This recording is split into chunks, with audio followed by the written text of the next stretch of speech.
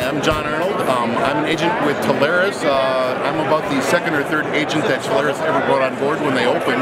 Um, it's been exciting. Uh, Telarus has a wide variety of carriers to work with, and uh, over time you learn to understand which carriers can uh, cut the mustard and which ones can't. Uh, AireSpring has been my go-to carrier for a long time.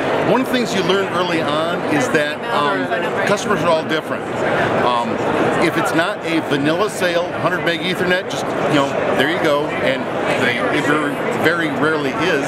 Um, AireSpring will go the extra mile to say, okay, can we think about this? Can we look at this? Um, how about this? And, and the, uh, channel manager will actually make suggestions about, you know, this would be a better way to go because. Um, and, and, I love that because I might not be aware of a lot of those things that are options. So uh, I love the way they think outside the box. I love their responsiveness, which is second to none. And uh, my channel manager, Charlie Lohman, is a uh, channel manager to be modeled after. Um, think AireSpring.